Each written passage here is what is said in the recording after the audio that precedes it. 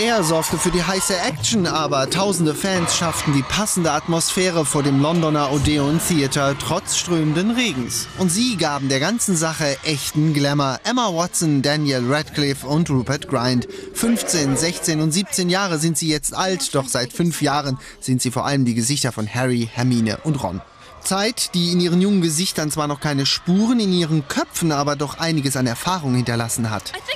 Die Verantwortung wächst mit dem Alter. Die Fans erwarten einfach, dass man besser und besser wird. Es ist eine fantastische Rolle, mit der ich eben identifiziert werde. Kein Problem für mich.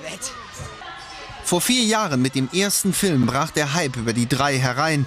Aus Kindern wurden Stars, aus den Stars schließlich Teenager. Gewachsen sind sie alle, doch Emma Watson ist dazu noch auf dem besten Weg, ein echter Hingucker zu werden. Den Starrummel nehmen alle drei inzwischen ganz locker.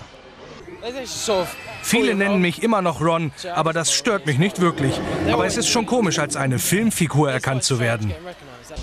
Auch wenn der Film diesmal insgesamt düsterer ist als seine Vorgänger, die Action ist atemberaubend. Doch nur wer älter als zwölf ist, kann sich das ohne Eltern anschauen. Zu gruselig in Mann.